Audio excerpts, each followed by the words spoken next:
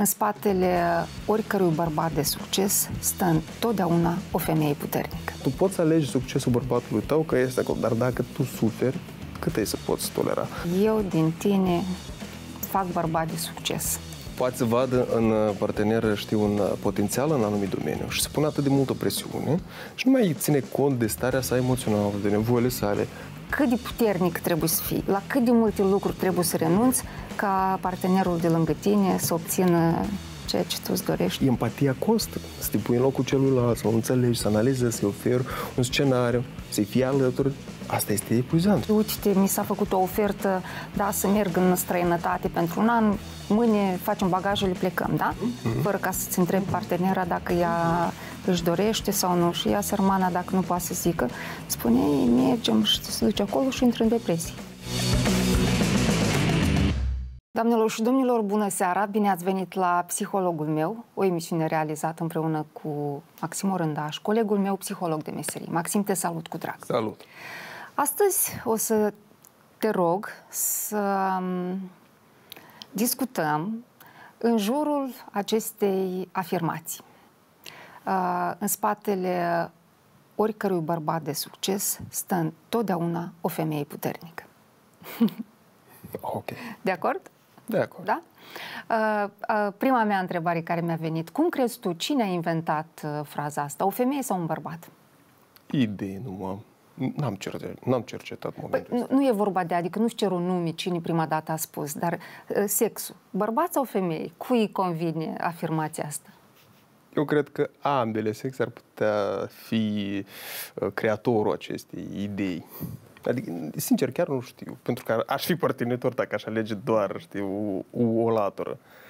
Uh, mie îmi pare cu un bărbat, totuși. De ce? Nu, în primul rând, pentru că uh, uh, bărbatul, echivalentul înseamnă succes. Okay. În cazul femeii vine cuvântul puternică. Uh, uh-huh. În cazul meu, sau eu cred că uh, puterea, da, puternică în acest sens, se asociază cu, prin greutăți, prin anumite refuzuri, concesii, uh-huh. știi, asta înseamnă să fii puternică în această propoziție. Uh-huh. Și, în plus, chestia asta cu cineva stă în față, cineva stă în spate. Mm? Am adus suficiente argumente.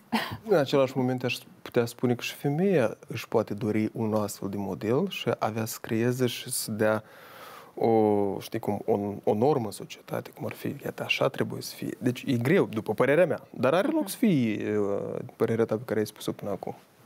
Ok, hai să începem. Uh, tu crezi uh, în așa ceva?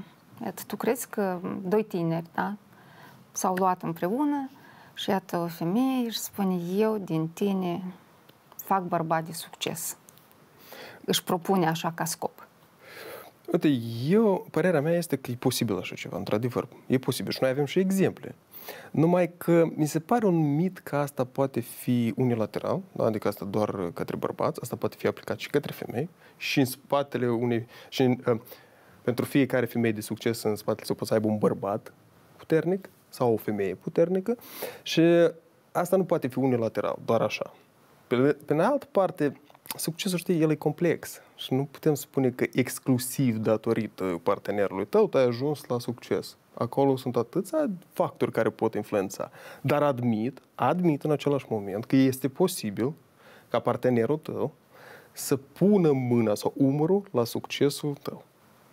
Uh, mai ales, cum ai spus tu, că avem și cazuri în acest sens, da? Uh-huh. Tu vorbeai despre uh, Marie Curie, uh-huh. da? Eu mi-am amintit, de exemplu, de cazul Ford, uh-huh. care a inventat mașina asta și există povestea asta, știi, că soția lui stătea câte 10 ori și îi lumina în timp ce el inventa. Probabil din cauza asta, da, această afirmație a intrat cumva atât de adânc în inimile noastre pentru că există cazuri de succes mm. da? și noi fie ne dorim același lucru, fie ne subapreciem sau ne supraapreciem și credem că, iată, noi să putem schimba.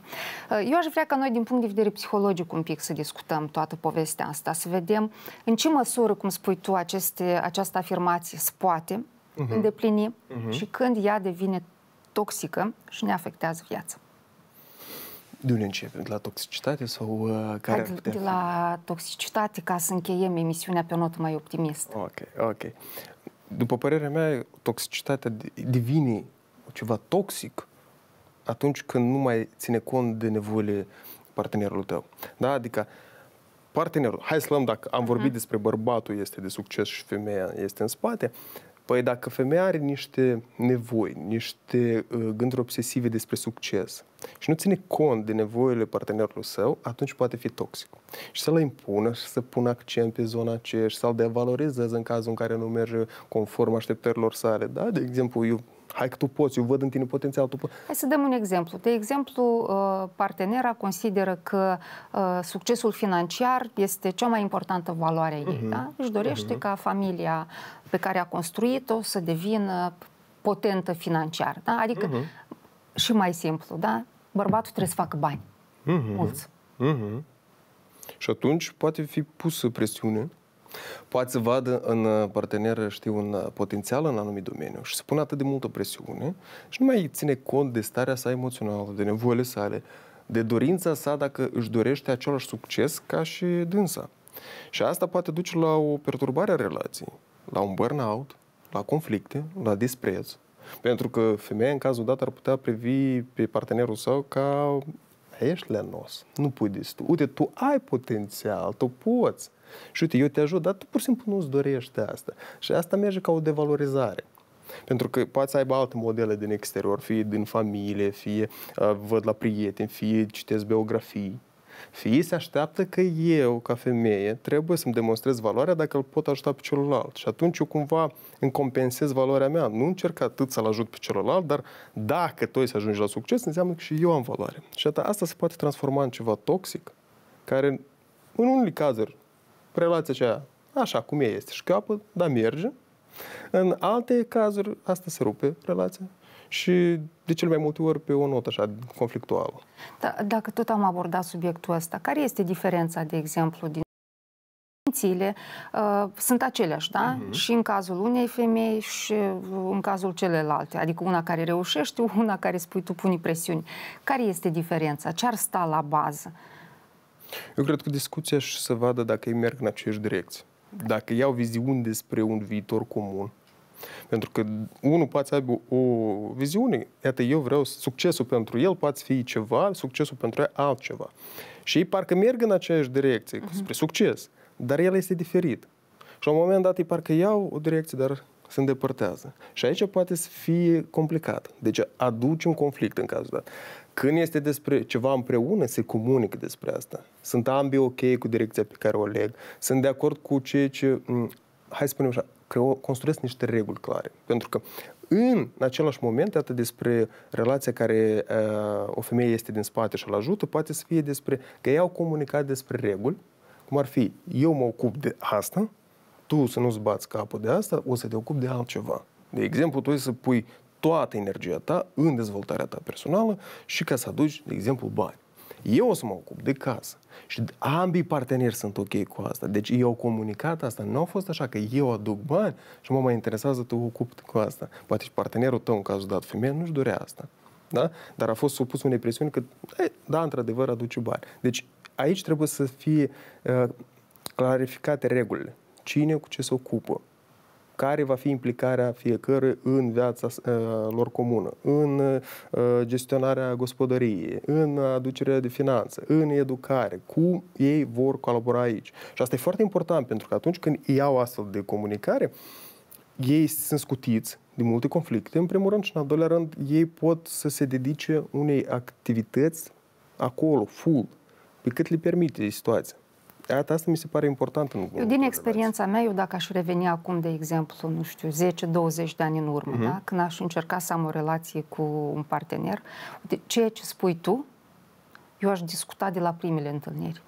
Copii vrei? Știi? Uh-huh. Ce părere ai despre bani? Uh-huh. Uh, uh, ce părere ai despre femeile care își doresc o carieră? Deci, direct, eu acum, cu mintea mea de acum, eu aș întreba, mie mi se pare extrem de important ca doi oameni când încep să iasă împreună și decid să rămână împreună, iată, chestiile astea să fie discutate.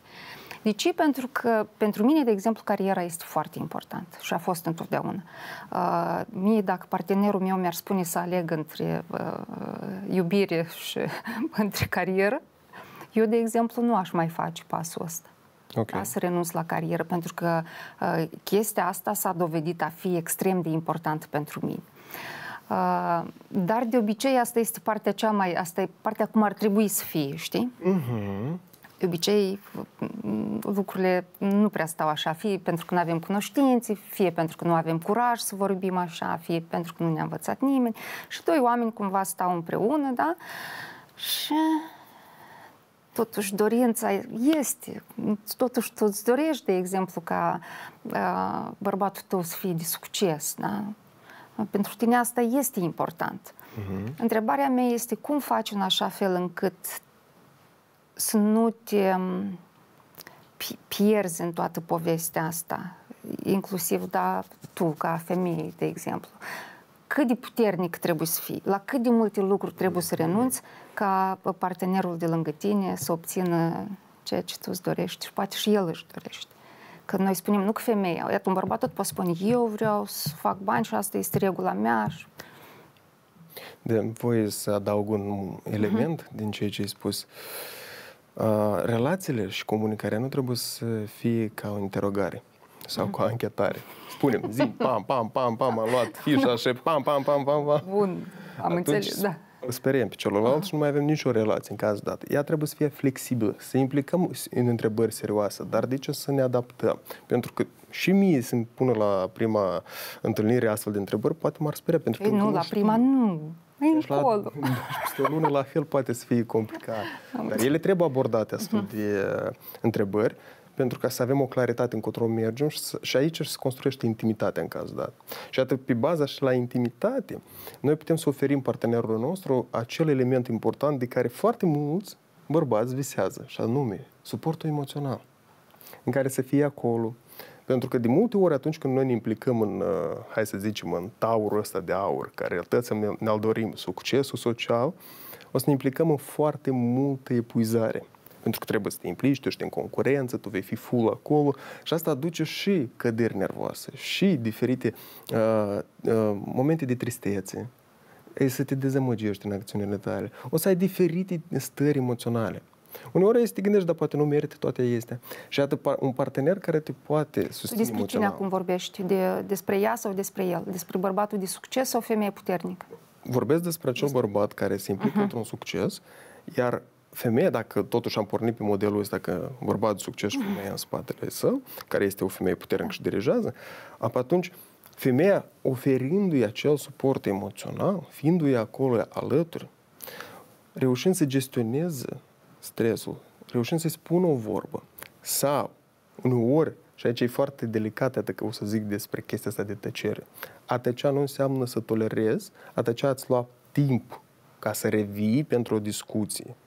Asta înseamnă că tu pui time-out pe o perioadă de timp nu îndelungată, care să revii cu mintea trece și să comunici despre lucruri care n-au fost bine, dar haideți să vedem cum le putem clarifica. Și atât, chestia asta de suport emoțional când ești acolo, asta poate să-l ajute pe celălalt să-și mențină motivația, să creadă că merită, să capete un sens și asta să-l ajute să dobândească acel succes. Deci să meargă în direcția cei care îl ajută. Deci un element important în cazul dat ar putea fi chestia asta de suportul emoțional. Îți sunt acolo, încerc să te ascult, încerc să te validez emoțional, încerc să, să-ți arăt că tu existi, ești important și încerc cumva să te ajut în măsura care uh-huh. pot să treci peste situațiile de criză.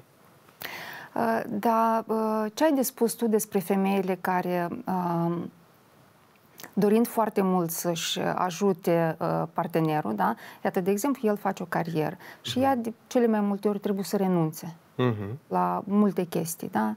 La ea, la pasiunile ei, da? Și toată energia merge participă la construcția acestei, acestui bărbat uh, de succes. Uh-huh. Uh, e posibil la un moment dat, nu știu, să saturi de chestia asta, să nu mai poată să mai facă asta, da? să se piardă pe ea. Da? Femeia, femeia. Sigur, suntem oameni până la urmă. Avem, noi suntem flexibili. Chiar dacă avem și o doză de rigiditate, noi ne schimbăm. Putem să avem la un moment dat viziuni diferite la diferite vârste. Deci nu vom fi toată viața la fel. Deci ar fi alarmant dacă nu ne-am schimbat.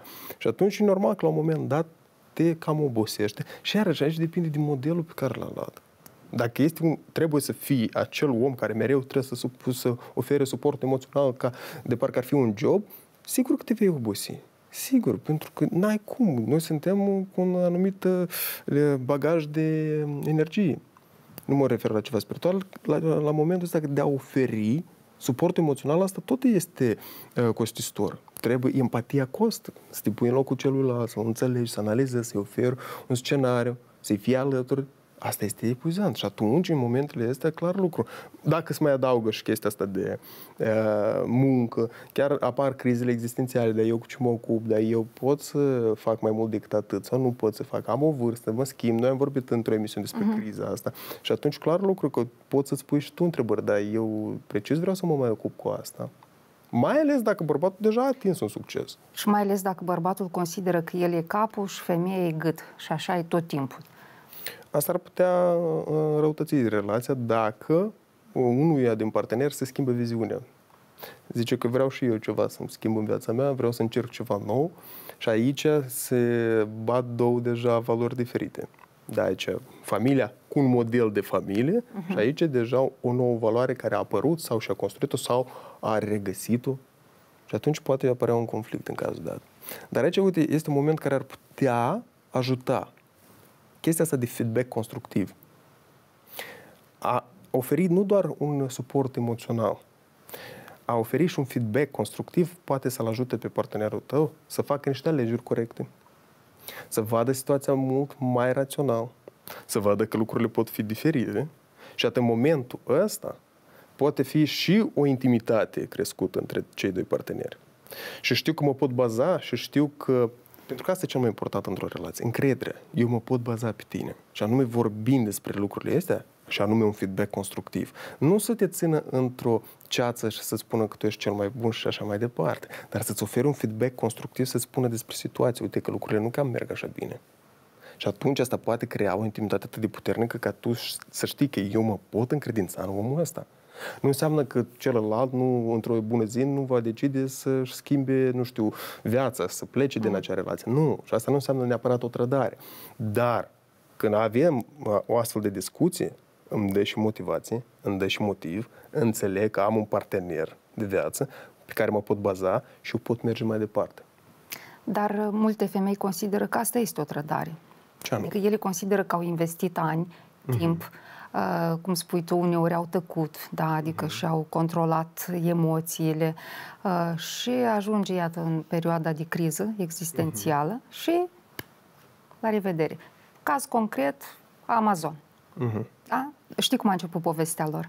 No. Uh, nu știu dacă este adevărat, cumva am citit pe net că uh, toată afacerea asta care l-a dus pe, cum îl cheamă? Jeff Bezos. Da, l-a dus printre cei mai bogați oameni din lume. A început de la o pasiune de a soției lui. Uh-huh.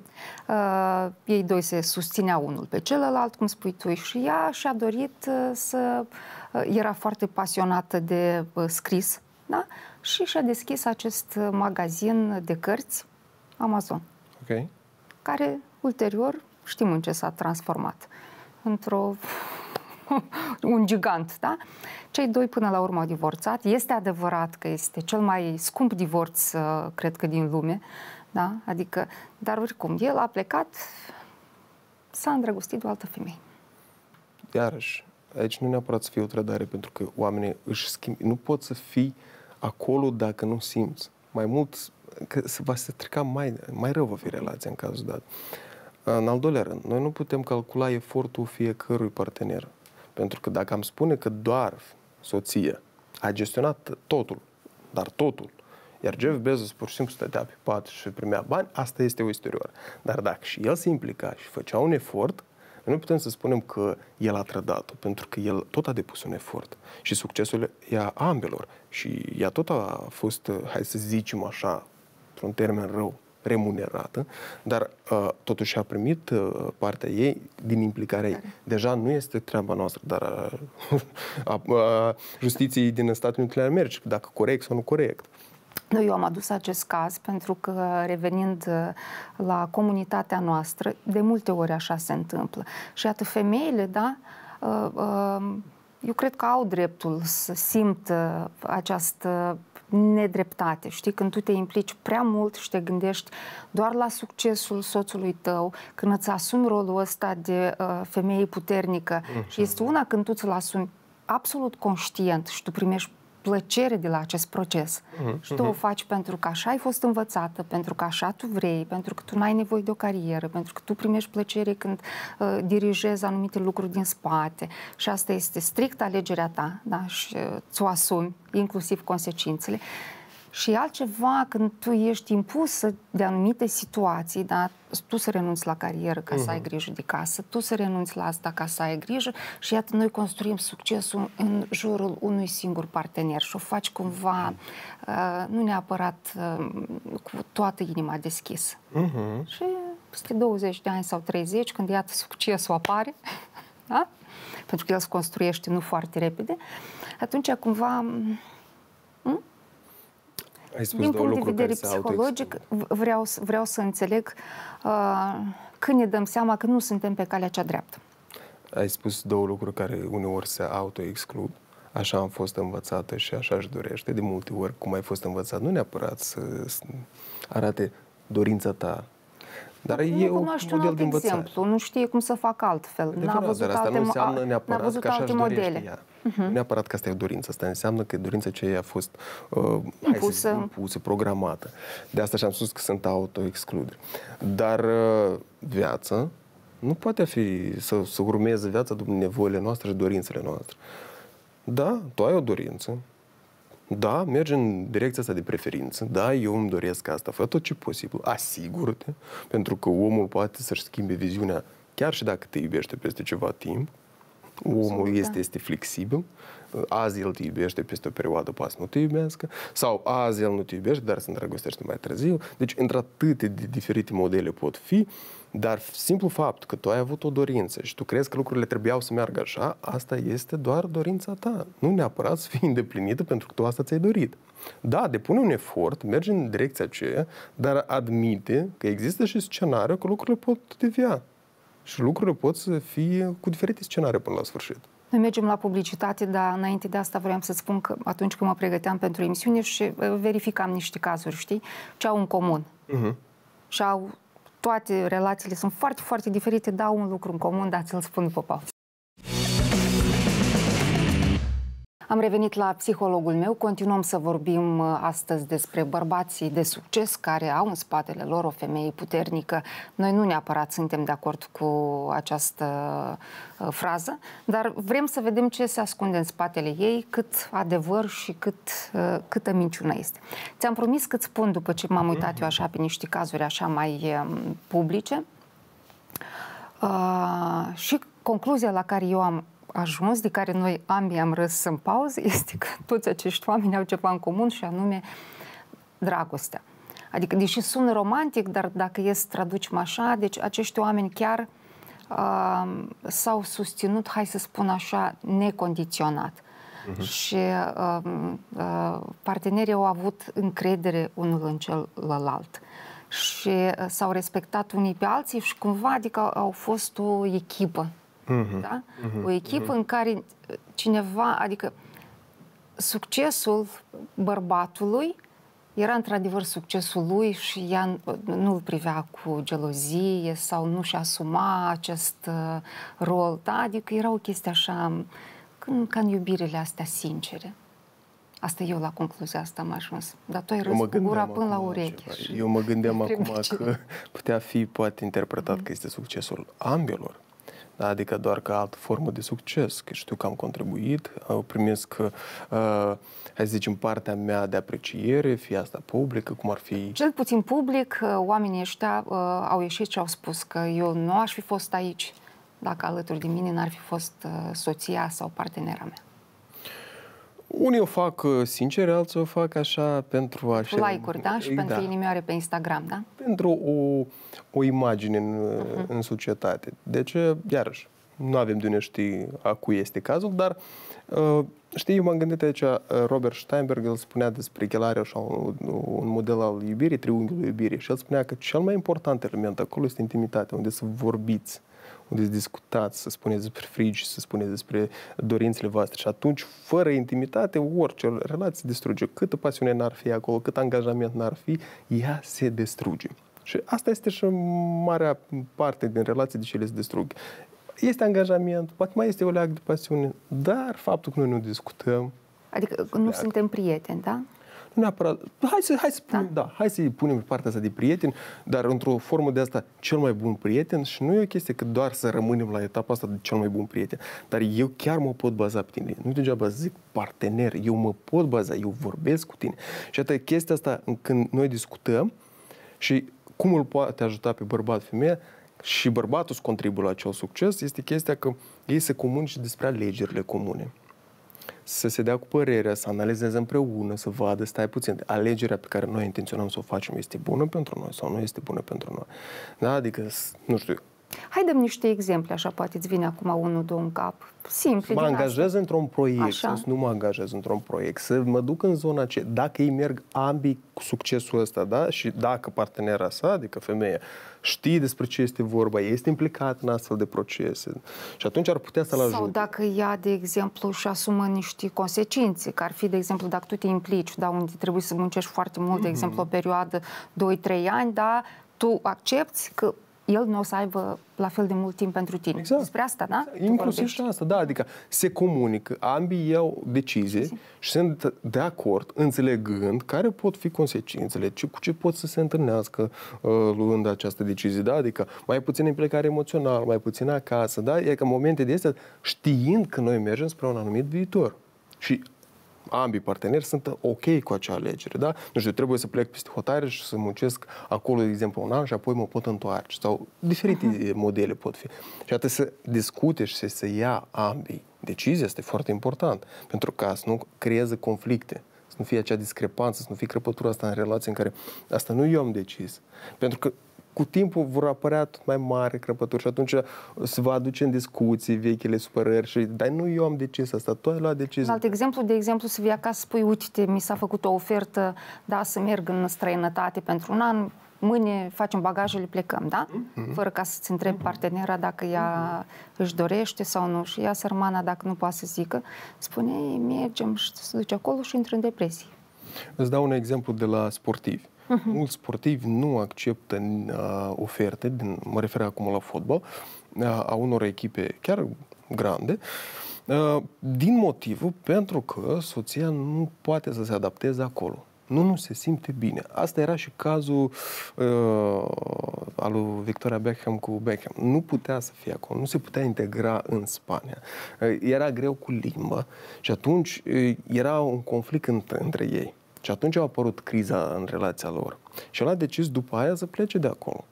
Să ducă în zona acolo unde se simte ea bine. Și atât așa mulți sportivi procedează pentru că nici ea nu se simte parteneră, nici copiii săi nu se simt bine acolo. Și ei refuză, luând în considerare ceea ce simte partenerul său. Și asta poate fi pentru ei un succes. Pentru că, da, tu poți alege succesul bărbatului tău că este acolo, dar dacă tu suferi, cât ai să poți tolera. Dacă este un termen determinat, un an, poate și te mai adaptezi. Care tu ți l-ai asumat da. conștient. Da, da. Uh-huh. da dacă e de 5 ani. Și uneori poți să crezi că fac față și 5 ani. Dar dacă nu poți să faci față, iată trece un an și tu te simți tot mai rău, mai rău. Și atunci deja o decizie, iată, a comunica, de a vedea, mergem noi în direcție ce sau nu, trebuie să fie asumată și discutată. Uh, ce crezi despre ierarhia în relații? Eu ce sunt anumite? capul, tu ești gâtul, da? Uh, eu aduc bani, tu te ocupi de gospodărie, de exemplu. Eu cred că aici trebuie să fie luat în considerare uh, cum văd partenerii, de fapt, modelul de relație. Că poate fi de la egal la egal, fiecare cu responsabilitățile sale, acolo, acolo și noi ne simțim bine. Sunt relații în care modelul ăsta nu, nu, nu, nu le corespunde. Și atunci trebuie să aleagă modelul potrivit lor. În unele relații, anume chestia asta de dominație, eu sunt vârful, tu ești cel care te supui, poate fi ok pentru că așa au crescut, pentru că așa le văd, sau poate chiar așa își doresc. Așa își doresc, exact. Da, adică există și așa modele în care își spun că eu vreau ca bărbatul meu să fie capul familiei, el să rezolve toate problemele, el să aducă partea de finanțe, dar eu mă ocup de Absolut. casă, eu gospodărie. cineva care spune că eu visez bucătărie mare, frumoasă, Exact, exact. toate ustensilele moderne, toată ziua gătesc. Mă duc la piață, cumpăr castraveți și vorbește cu atâta pasiune despre asta. Femeia este fericită. Da? Adică asta nu, Asta este, trebuie de discutat. nu este o obligație. Deci ea se simte foarte, foarte spune, eu nu vreau să lucrez de la 9 până la 5. Cumva, eu sunt ok, iată cu un astfel de model. Și asta trebuie de discutat la începutul uh, relației. Uh-huh. Nu mă refer în prima zi, dar în primul, prim, hai să zicem, semestru uh-huh. da, de relație, în care să vedeți ce viziune voi aveți despre relație. Pentru că ele pot să nu coincidă și apoi să suferiți din cauza dată. Pentru că tu îți dorești una, partenerul uh-huh. altceva. Și poate fi și invers. Femeia să-și dorească, hai să lucrăm, iar bărbatul să aibă așteptări că femeia trebuie să fie acasă, să se ocupe de toate astea, dar eu mă ocup de altceva. Și atât, lipsa discuții, comunicării despre aceste modele poate aduce o discrepanță. Și cu timpul să înrăutățească și să apară conflicte și deja despărțiri. Da, ce sfat ai pentru fetele, de exemplu, mai tinere, care cu orice preț, de exemplu, își doresc să se implice în relații doar cu bărbați de succes? Să aibă Merg la răbdare.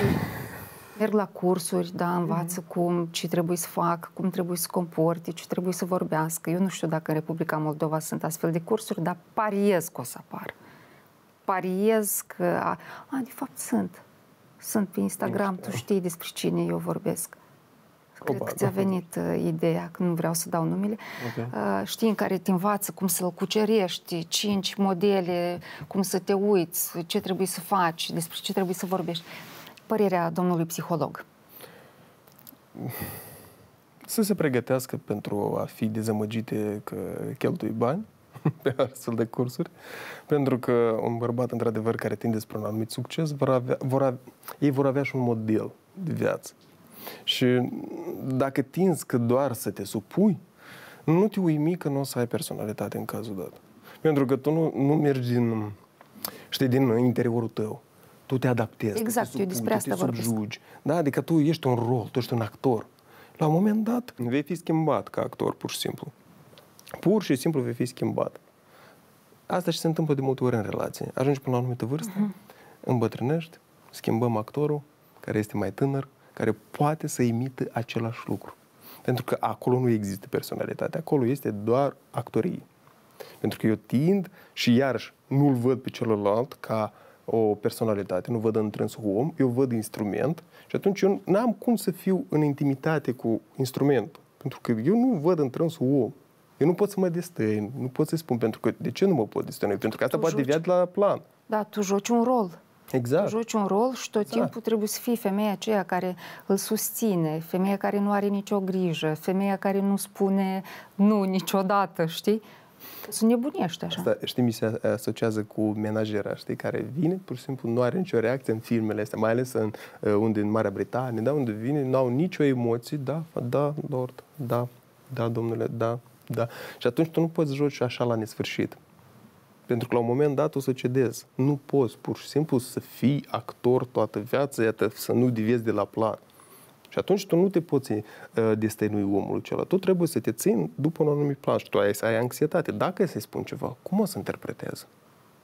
Și atunci toate, toată investiția ta, toată energia ta, tot timpul pe care l-ai dedicat aceste relații, ar putea dispărea într-un moment doar pentru că tu te-ai destănuit. Pentru că ai început de la din start cu o altă paradigmă. Eu trebuie să mă adaptez. Trebuie să mă fac. Și asta e o chestie de parcă de prădător. Eu trebuie să, mă, să am un camuflaj ca să ajung la, uh, uh, hai să zicem, la victimă și să iau ceea ce îmi doresc. În cazul dat, viața asta faimoasă. Și aici e paradoxul că acele femei pot ajunge acolo, chiar ajung. Doar că ajung într-o pușcărie de aur, știi? Sunt închise, nu au mare, uh, hai să zicem, nu are mare, cum să zic eu așa, ca să fie mai moale, spațiu de manevră.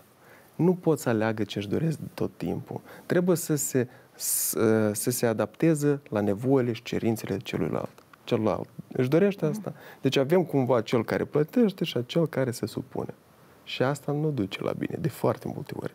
Și noi am văzut deja cazuri de tipul ăsta. Cel puțin uh, uh, psihologic, adică poți să obții toate chestiile astea materiale, uh-huh. dar cred că mintea la un moment dat poate să cedeze. Deși ești de acord cu mine că uh, sunt astfel de uh, relații și la un moment dat, în cazul dat vorbesc despre femei, chiar dacă vrei să renunți, da? Uh, deja tu nu mai poți, pentru că tu trebuie să renunți la tot ce ai, în ce ai investit tu. Uh-huh. Uh, tu ai investit emoții, tu atâta timp te-ai străduit să, să taci, să nu vorbești nimic, să nu spui nimic și cum așa, adică să pleci. Știi? Asta și de multe ori zic uh, femeile că asta e trădare. Pentru că noi tare ne iubim investițiile așa. noastre. Uh-huh. Tare ținem la ele. Și o să ne fie foarte greu să renunțăm. Și aici, cu cât mai mult investim, cu atât mai mult apreciem și acest fenomen este descris și chiar în traininguri. Dacă un training este cu un check mare, nu știu, tu dai un 5.000 de euro pe un seminar, nici nu training, seminar. Disonanța cognitivă cât seminarul nu a fost despre nimic, într-atât este de mare că tu să începi a găsi, da, că e bun, că a fost, da, mai iluminat pentru că nu pot accepta că am investit atât de mult și n-a fost despre nimic. Iată fix așa și în relație. Poți accepta fi. că ai fost mințit, știi? Mințit, că cum ai putut să nu observi și așa mai departe. Multe întrebări pot apărea. Și iată, noi ne apreciem atât de mult investiția noastră că noi nu putem să refuzăm la ele. Asta să fie pentru noi foarte stresant.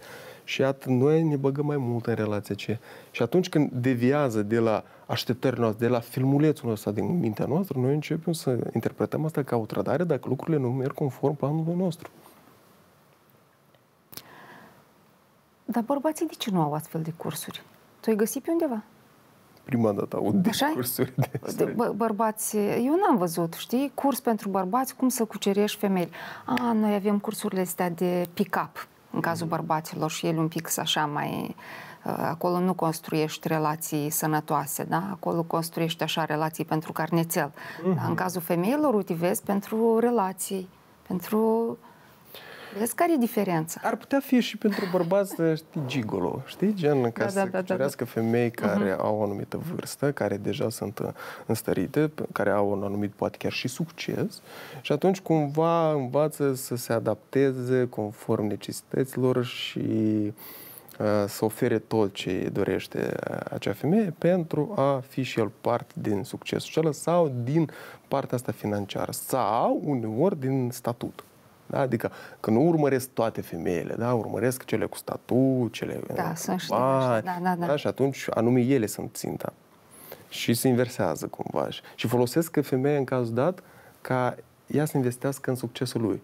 Cumva deja el să fie uh-huh. de unul singur. Și de multe ori femeile asta fac. Adică investesc, crezând că asta este o iubire. Că... Pentru că sunt vulnerabile, pentru că sunt inclusiv, singure, pentru inclusiv. că în sfârșit cineva le spune o poveste pe care și-au dorit să o asculte. Și trăiesc o perioadă de, hai să zicem, nu o lună de miere, dar poate un an de miere în care totul e frumos uh-huh. și noi dorim asta să o prelungim stare.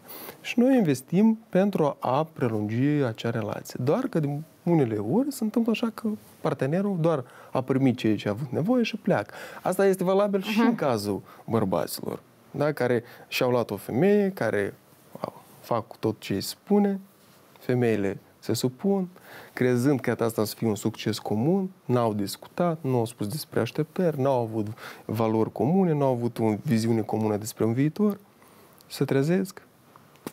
O, da, apropo, dacă tu le-ai ai început să enumerezi, hai să vorbim despre valorile astea care da, ar sta la o relație sănătoasă, da?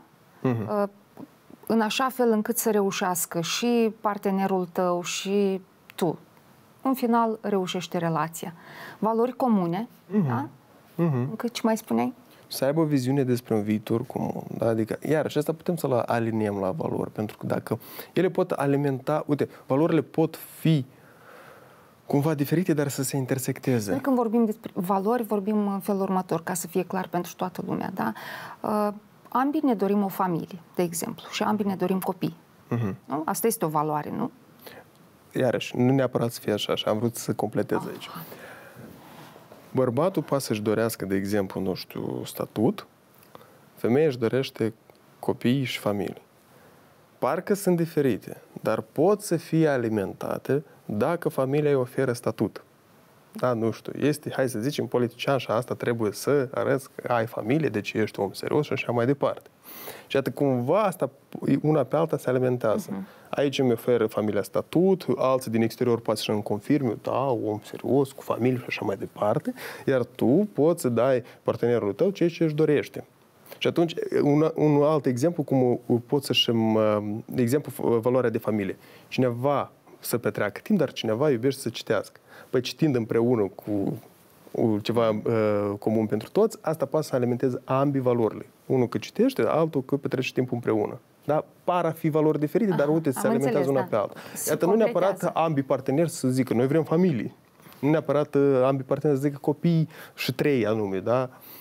Dar ele trebuie să se alimenteze una pe alta sau cel puțin măcar câteva valori într-adevăr trebuie să fie comune. Pentru că dacă ele sunt diametral opuse, cineva spune că eu vreau să am bani, și pentru mine e important să am bani statut, dar pentru celălalt spune nu, pentru mine este altruismul și eu trebuie să ajut oamenii, cum ar fi, nu știu, mă duc undeva pentru țările din lumea a treia și acolo să ajut. Este mică probabilitatea că va dura acea relație.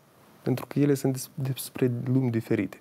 Deci, cât de cât ele trebuie să fie aliniate unei, unor valori comune. Viziunea despre viitor. Noi ne dorim, iată aici tu când ai spus despre da. copii, noi ne dorim în genere copii pe viitor, familie. Ce înseamnă pentru mine familie? Că pentru cineva familia asta poate fi despre doar noi doi. Noi da. doi și, și animăluțele cățel, noastre. Da. Exact. Sau, pur și simplu, noi suntem chiar nici nu căsătoriți. Asta tot pentru mine poate fi familie. Pentru tine poate să fie neapărat semnătura, un document care îți confirmă că tu ești în da. familie. Da, adică, document trebuie. Exact. Deci Pentru fiecare că asta, te, asta ți asigură după asta mm. o anumită protecție. Exact, Fără exact. document cam și asta trebuie să fie discutată. De ce ca viziunea asta despre viitor. Noi nu doar suntem împreună și ne definim ca familie, dar noi putem să ne căsătorim, noi ne ducem și avem document, facem copii, da? adică o viziune comună. O, despre ce mai spune? Care poate fi indicatorii? Da, că, că relația are, are uh, șanse. Da? Suport, suport Port. unul pe altul, pentru că și celălalt partener are nevoie. Să nu fie un suport unilateral. Da, doar bărbatul este cel care primește cel suport din partea femeii. Nu, pentru că și femeia are nevoie de suport emoțional, de ajutor fizic. Chiar dacă s-a decis de comun acord că unul exact. este în față și celălalt... Exact, pentru da? că sta acasă... Nu ni se pare că dacă femeia stă acasă și gătește și, nu știu, face curățenie, asta nu este muncă. Iar de multe ori bărbații asta nici nu au încercat. Dacă ar încerca o lună să fie în tempo ăsta, ei ar spune, îți dau toți banii de pe lume, numai, te rog, nu mă mai implica în astfel de activități, uh-huh. eu mă duc să lucrez și o să fiu om de succes. Asta este greu, mai ales când ai, când ai și copii. Asta este extrem de greu, pentru că te epuizezi, pentru că atenția noastră într-atât este delimitată și asta e un, e un resurs foarte costisitor.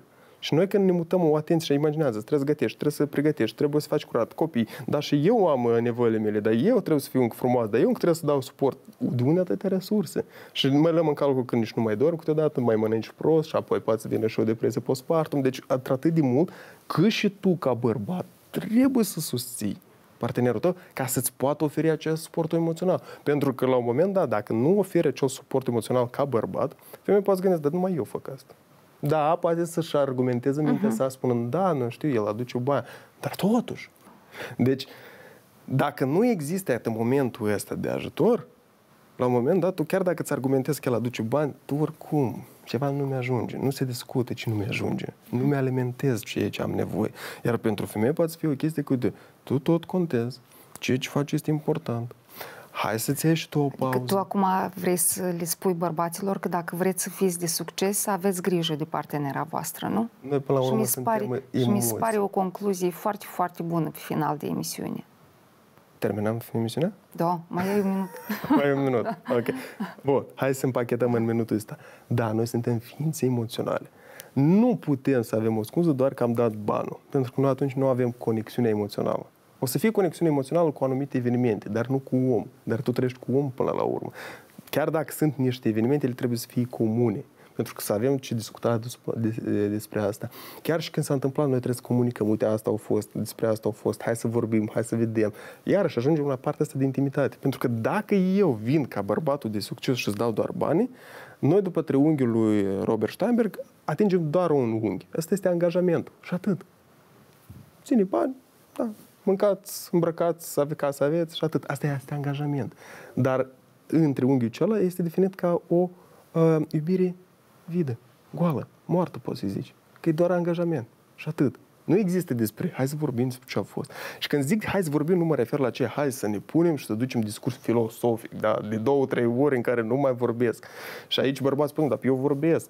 Dar nu iau în considerare că să ascultă și pe partener. Da? Adică eu vorbesc, dar uite că stai, și celălalt trebuie să vorbească, care are nevoile sale. Deci e o chestie în care trebuie să nu fii unilateral chiar dacă femeia îl ajută pe bărbat să ajungă la un anumit succes, să nu uite că, știi, când ajunge repede la succes, poți să crezi că coroana e mare și tu ești unic. Să nu uiți de partenerul tău. Asta e foarte important. Maxim, te-aș asculta încă o oră cum vorbești așa, știi? Anume, de, anume așa, da? Da, da, iată, exact așa cum bărbații trebuie să aibă grijă de femeile noastre. Uh, și mai ales că ai dreptate, nu știu statistic cum este, dar sunt și cazuri în care un bărbat, fiind alături de o femeie, da, iată, el parcă se descurcă, îi merge în toate și mai departe. Și după ce se despart, se, știi cum, lucrurile... Adică sunt cazuri și așa, așa. Deși, deși, eu cred că fiecare trebuie să aibă grijă de propriul lui succes. Este adevărat că partenerii trebuie să susțină, dar sunt absolut convinsă că cel puțin pentru vremurile noastre, cumva, ambii parteneri trebuie să simtă confortabil mm-hmm. în, într-o relație. Exact. Și uh, să le fie bine uh, la ambii. Pentru că dacă așa, cel puțin un succes vor avea o familie bună reușit, știi, mai departe. Îți mulțumesc tare mult pentru discuții. Drag. Încheiem aici, vă așteptăm data viitoare la psihologul meu.